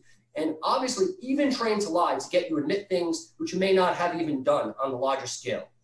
You have 30 seconds. Oh, great. The next person signed up for public comment is Tal Canetti. Tal, you've been promoted to a panelist and can unmute and share your video when you're comfortable. Hi, thank you so much. Um, so, like a lot of other people that just spoke, I was not planning on speaking at all, so this may be a bit messy, um, and I'm sorry about that. But yeah, so I just want to start off like kind of like what everyone's been saying, um, not everyone, recently, um, that like maybe like as a white person, it's like really hard to see that um, Black Americans, Black people in Brookline have like some really bad experiences with the police. I myself have heard like a lot of stories of of Black um, teenagers even being followed by the police with no reason at all. And um, you know, people, a lot of the people that just talked shared a lot of their own experiences. So I think it's just one, it's important to realize that um, your your experience, um, specifically to white people, um, may not be the experience um, that a lot of others face, um, or that some others face. And yeah, I also want to um, talk a bit um, about just how the idea of police, like our current system of police of policing, is based heavily on the system of system of power. And I think, um, at least in my opinion, our current system of policing gives way too much power uh, to the to any individual in the police um, it gives them, I mean, I'm sure you've heard it, um, the saying, but it's like it gives them um, the ability to be judged during an executioner in any specific scenario. Um, and I, even if no one specific um, policeman or policewoman has bad intentions or is intentionally racist or some things like that, things like implicit bias and other um, other reasons could just cause scenarios that you know you, you don't want to happen. So I think yeah, sorry, this is a bit um, disorganized, but yeah, I just want to agree with everyone else and not everyone else. Um, I just want to agree with the, um, the people, the few of the people have said recently that, um, yeah, the police need reform. Thanks, Cal. The next person signed up for public comment is Sasha Calvert. Sasha, you've been promoted to a panelist. Thank you. Hi, everyone. So, I also was not planning on speaking tonight, and I just want to take a second to talk about the fact that so many people who were not planning on speaking tonight have found the need to speak because they've been so disappointed with what they've heard. Um, I am going to speak from my own experience, from my own identity as a white woman. And I'm going to say that I am disappointed with how members of these, of specifically with the Reform Committee, have been victimizing themselves and weaponizing their race in order to stop stop the reimagining committee from reimagining policing in Brookline. As Tal just said, as many other supporters of the Reimagining Committee have said this is much bigger than your personal victimization. This is much bigger than your personal experiences. And this is like, this simply is not about you. I'm disgusted, truthfully, I'm disgusted to see the way that certain members of this committee have been victimizing themselves in order to try and stop this agenda. It is disappointing, it is frustrating, and it is in no way representative of how we as a town should be functioning we are as a town should be looking out for one another, every single person. And I am really upset to see with how many members of the reform, the police reform board have been dealing with what has been brought forth tonight. Thank you. Thank you, Sasha. At this time, there are 34 attendees. We do have a panelist with their hand raised if uh, the chairs want to address that at this time, uh, but there are no further comments in the Q&A and no members of the public have used the hand raise feature to indicate they'd like to make another comment. Uh, this is mainly a listening session, not an interactive session, but what do you think, um, Raul? Do you want to? I think um, allowing from? one of the, I think allowing one of the our committee members to speak opened the door for this. So I feel like um, we should, um, you know, who's that? If oh, June. That they really need to say something, then. Oh, yeah, that was. Um, yeah. And she is in the queue. So, okay, um, Devin, who wants to speak? Raj has his hand raised. I uh, have un I've asked you to unmute Raj, and you can begin your comments when you're ready. Uh, can you hear me? Yes. Uh, my name is Raj Dhanda, uh, almost a 50 year resident of uh, Brookline. Um, so I would start out by asking a simple question. If you had a doctor and the doctor had a thousand patients and five of them had ended up with serious issues because of what the doctor did, would you be talking so much about the 995 or would you be wanting to know more about the five? Uh, my guess is the five is what you want to know more about because you expect the doctor to be uh, doing uh, his job, his or her job, and the patient's doing well. So that is the way I think of the police department uh, vast amount of the police are wonderful people and they do their job.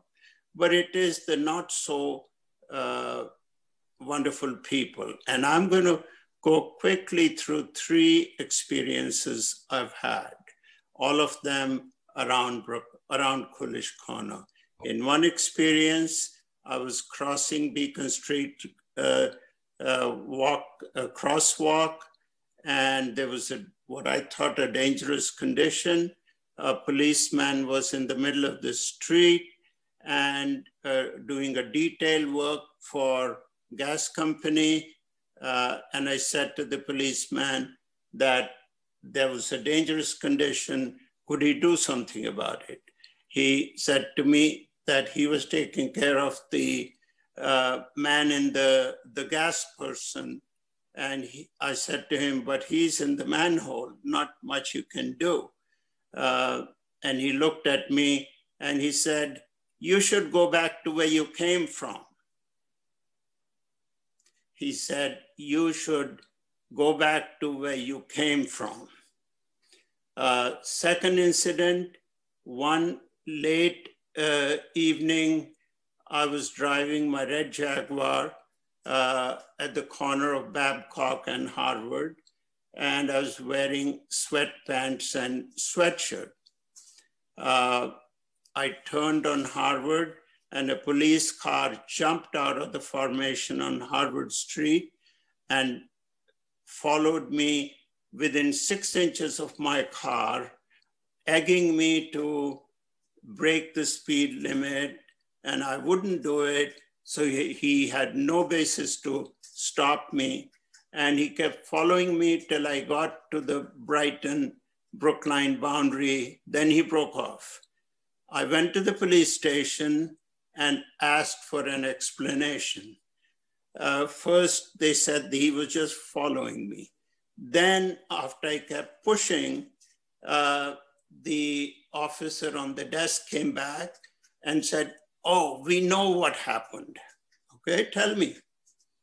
He said, There is a stolen red Jaguar, your model, with five digits on the license plate that match the six digits. Think about that. You have a better chance of winning, or almost the same chance of winning the lottery tomorrow. Third incident, trying to get into my parking lot behind Nina's, uh, I was stopped and I came within a second of being shot because I wanted to come into my own parking lot. And I told the police officer who was blocking me. So anyone who says there's been wonderful experiences, I agree there have been wonderful experiences. Vast number of them are. But the real question is, what happens to situations like mine and many others that have been recited? And that's where the work of these committees needs to focus. Is police department good? It is good, but the, it needs to be far better than what it is. Thank you. Thank you, Raj. At this time, there are 36 attendees. What do you think, Nina?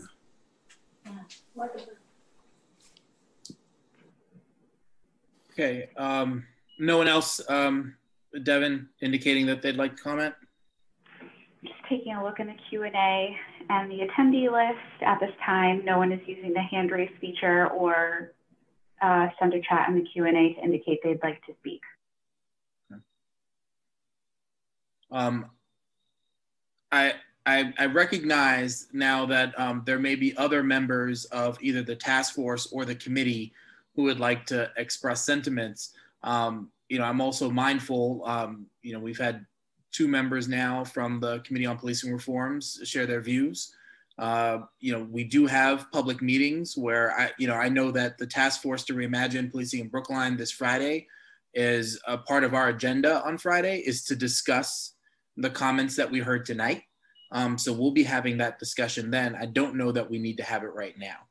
Um, so respectfully, yeah. I, would like to suggest. Um, otherwise, this may devolve into a in, into a a public dialogue that that uh, that doesn't need to take place at this moment. But I don't know, um, Bernard, do you have th- other thoughts on that?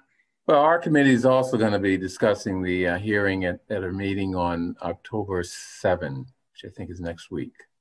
Um, so, yeah, I, I, don't think we need to, um, you know, have that discussion here. Uh, we, people need to digest what they've heard, uh, think about it, and uh, at our discussion at um, next week's meetings or for the uh, task force this week, uh, we can have a discussion fully informed by you know what we've heard from people tonight. Great. Um, if we're closing the hearing, I just wanted to, to um, just say a couple words, if um, if that's all right. Um, and I imagine Bernard, you might want to as well. Um, you know, I, I do want to just respond to a couple things and just to, to, to get everyone on the same page. It's not about, um, I take everyone's comments and, and we're going to sort of take that into consideration as we move forward. I do want to say this. There is no Raul's committee or Bernard's committee. These are select board committees and task forces. They were voted on unanimously, both of them, by the five select board members. Um, so there is no such thing as Raul's committee or Bernard's committee. These are these are, are, committees of folks that have come together Bernard and I happen to chair these committees, um, but um, but they're really good people um, that have come together to try to um, to figure out very tough problems. Uh, and and I'll leave that there. Uh, I will say also, um, folks talked about proposals. There are no proposals right now from the coming from the task force. Um, our work is just getting started, frankly. We just started breaking into subcommittees to actually um, do the investigatory work that's necessary to produce proposals. Um, I'll be uh, in mid October, I think we're scheduled uh, to sort of report on our activities. I won't have, frankly, a ton to report at that early stage, but I'll report on where we are, such as it is. I, I doubt that we'll be putting forward proposals at that at that point, perhaps later on. Um, but what I will say is that you know th- that this this body is meeting the charge that was set out for it, which is to explore alternative models to public safety. Um, and so what I what I encourage you all to do is to watch the task force work. As I mentioned at the top, we meet every Friday as a full task force. All of our meetings to date are all recorded. You can go back and watch it.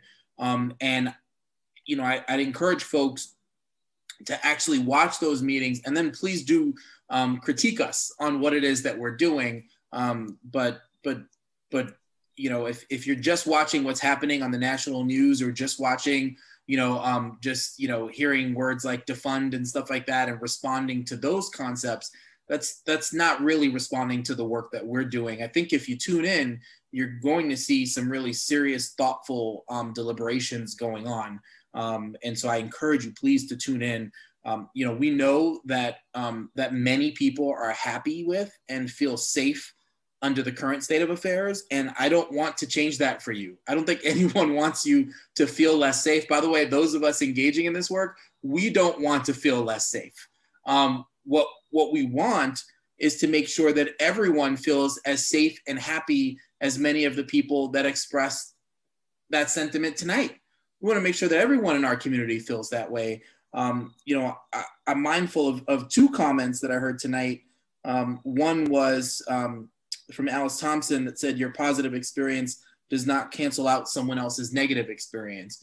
Uh, and to really think about um, like, you know, I too have had many positive experiences in this community, um, but my work is about understanding um, the experience of those who haven't. Um, and so I'd encourage you to engage with us in that work and to support us in that work because I, I think most people would agree um, that we want to make sure that, that everyone is having positive experiences here. Um, the other comment was by State Representative Tommy Vitolo, um, who said, I believe the most powerful and safe must demonstrate the most openness and flexibility, um, and really did encourage us to step into this work and to be willing to hear alternative proposals. Uh, I'll just say this there is a very high bar in this community to changing just about anything, and certainly a very high bar to um, to, to reallocating resources, to eliminating programs. Um, it requires exhaustive public engagement with the select board, with potentially the school committee as, as it relates to, to issues related to the schools, um, town meeting, uh, and, and other bodies. And so um, no changes will happen like that. Um, no changes will happen under the cover of darkness. Um, there will be exhaustive public engagement before any changes come forward.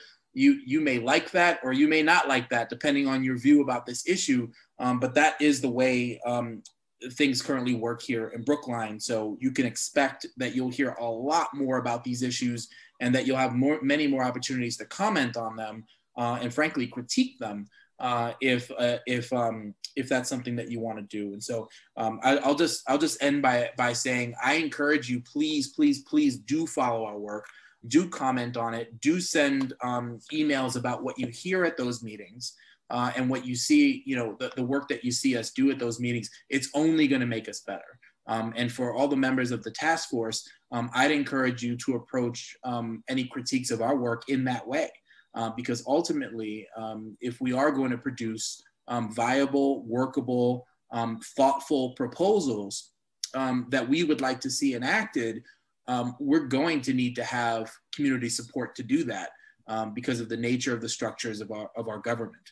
so I, would encourage you as as um, as I'm sure there will be further critiques of our work, that that's actually part of the natural process of us getting better and producing better proposals. So please bring it on. Um, we'd love to hear more from members of the public on this. Thank you very much for everybody that spoke tonight. It's been helpful. Okay. Thank you. Yeah, let, let me just add, um, you know, we've heard a lot of, um, of, comments from people, both at this hearing as well as uh, in, in, our emails over the last uh, few weeks regarding policing. Um, we should not, because our experiences uh, have been positive, uh, assume that everyone's experiences uh, have been as positive as, as ours, whether we're white or black. Um, however, it's also important not to use the phrase people of color as if it's a unit, it's, it's uh, the experiences of everyone who fits within that category. I mean, acknowledge the fact that you know many people have had uh, positive experiences, and maybe we should figure out why some have had positive and some have had negative. But we don't want to give the impression uh, to, for example, young black kids uh, like my son, that uh, if he walks into Brookline, necessarily he's going to be stopped by the police uh, and abused. Uh, we don't want to give the impression that every black person coming through Brookline uh, is going to be abused by the police to uh, the outside world because it's just not an accurate uh, description of uh, our situation. It really undermines our ability to address uh, those uh, experiences that are that some people have that are negative. so you know that's I think that's you know from the standpoint of you know our method methodology of approaching some of these issues that that's something that I, I think is important. I, I, think that we've heard a lot tonight. I'm, I'm glad that uh, we spent the time after uh, the first group of people had finished uh, or had uh, made their statements to take some additional uh, comments. Uh, they've been very helpful. A lot of people didn't intend to speak and, and decided to put in their viewpoints because they didn't feel that their views or other views were ad adequately represented in the earlier discussion. That's great. Uh, the more information, the more data we have, the better. So um, I understand that there's one, one, other person who has raised their hand. Yes, I've yeah. promoted Eddie Stromfels from the attendee list. Eddie, you can unmute and share your video when you're comfortable. Oh, great. I didn't realize I actually got on. Hi, I'm Eddie, he, him, his, uh, precinct 10. Um, and very brief comments I wanted to make tonight, just uh, to sort of address some things that popped up. And I just think uh, I wanted to just comment on sort of the phenomena that occurred tonight with uh, all the folks who had no intention of speaking but found themselves compelled to after hearing sort of the earlier proceedings uh, during this meeting. Uh, and I just think it's important to note the sort of inherent asymmetry of power in asking people to publicly speak on negative experiences with police. The fact that many people uh, might have felt intimid- too intimidated to publicly talk about those kinds of experiences out of a well-founded uh, fear of retaliation by police, something that's also been discussed about you know meetings that have occurred in person. Um, so it's, I think it's important that we acknowledge that there are many, many voices we weren't able to hear tonight for very valid reasons, and to also acknowledge the bravery of those who did choose to share uh, for the sake of our community. Um, so I think it's important to note that. And I just also want to offer my own perspective as a social worker um, that I think one of the main ways to address the way that uh, if our field is undervalued or underfunded is to begin by shifting money away from bloated police departments and, and towards the more meaningful sort of roots of crime, which is a lack of housing, lack of uh, um, ed education, jobs, food, um, the sorts of things, healthcare that we think uh, everyone um, should have a right to. Um, so I think it's important to note that uh, not every social worker is so enthusiastic about collaboration with police and some of us actively oppose it. Uh, thank you. Okay, unless there are any other uh, comments from the public, I'd like to close this meeting. Devin, do we have anyone in, have anyone in the queue?